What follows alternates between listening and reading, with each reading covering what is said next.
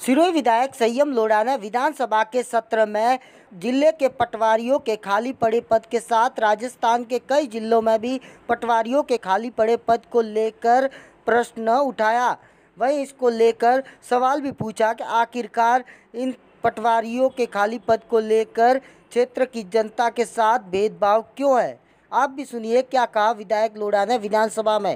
जितने पटवारी है वो आप जो आपकी सेवा में वो आप गिन लो।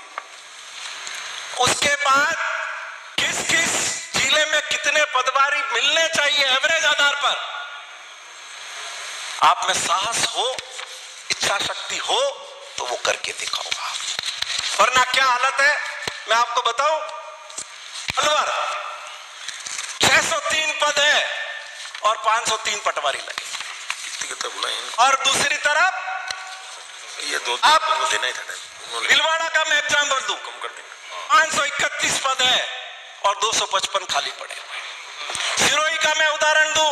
एक सौ नवियासी पद है और एक सौ एक खाली पड़े हुए हैं। जालोर का भी पढ़ देता हूँ मैं। जालोर तीन सौ छब्बीस पद है और एक सौ पंद्रह खाली पड़े हुए